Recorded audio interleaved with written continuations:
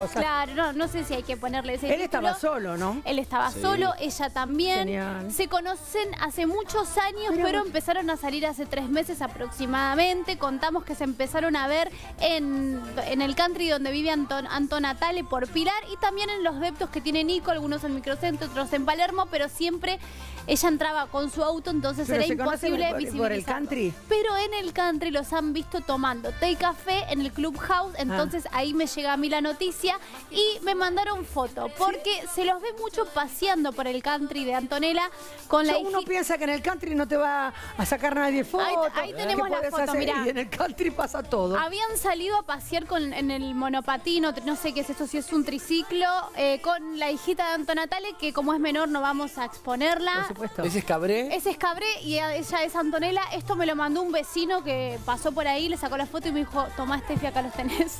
¿Y acá? ¿Le- No, ¿Qué eso es? no. No sé. Eso no, que capaz que sos aparece. vos, Steffi. Ojo, que se- Steffi aparece desnuda. Esa es tu pileta, Steffi. No, es tu pileta, no es tu sé. pileta. ¿O No, no no? soy yo, no soy yo. Ah. Y bueno, los vieron paseando por ahí, siguen juntos. Ella fue noticia, tengo que hacer mención a esto, aunque no me voy a meter en el tema, porque hubo, tuvo algunos problemas con algunas clientas del showroom que ella tiene de ropa. En socios hicieron el tema. Ah, que era estafadora, dijeron. Oh, no me digas. por Vuelco el mate. Por malo te manchó todo con Viste que cuando uno tiene un poquito de exposición aparecen otras cosas Sí. después, Bueno, que sí. la verdad Antonella estaba ¿Qué muy angustiada por ¿Problemas este tema.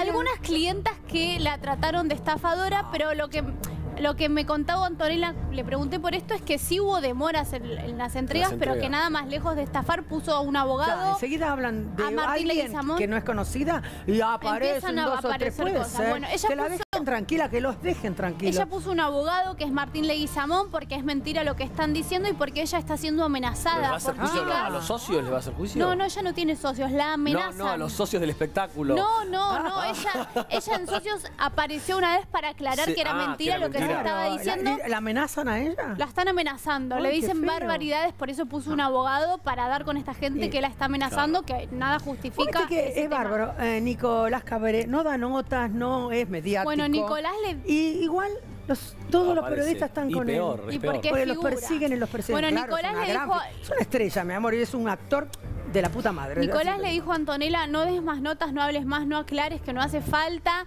eh, vos sos todo lo que está bien, le dijo. Le dijo. Oh. Qué enamorado, no me lo imagino tierno a Es un Cabré. tierno, es un tierno. No, sí, sí, sí. Bueno, con vos, pero con las mujeres debe ser divino. Es un lindo hombre. No, pero él cree en ella No, a Pía y... la hizo llorar una vez. ¿La hizo llorar a Pía? Sí. ¿Por No, a mí también me hizo incomodar ¿A vos te una hizo vez. llorar? No, no me hizo llorar, yo no, yo es muy difícil que a mí alguien me haga llorar. Pero me, sí, Ella sí pone me la sonrisa. incomodó. Sí, sí, me ha incomodado porque él no le gustan los medios, pero somos personas también, ¿no? Estamos Sí. trabajando, está Bueno, usted está trabajando, él no quiere dar nota. No hay que obligarlo. No, pero no, yo no le ¿Lo pedí una nota Yo no igual. obligaba. No, yo no le A, pedí a mí me ha tratado mal en una rueda de prensa que estaba por estrenar una novela en Canal 13. ¿Qué pregunta habrás hecho vos? Y no me acuerdo. Me encantaría saber. No me acuerdo qué Te tema lo tenía en ese momento. que te- y que se te caiga toda la hierba encima y se quemó vivo. la mano. Y no pudo gritar. Se lo, me- te lo merece. bueno, a ver, ¿qué estamos haciendo? ¿Qué es eso? Yo acá sigo. Ya salieron, ya, Ya salieron. Permiso, ¿eh? decime, eh, eh, la temperatura. 180 grados.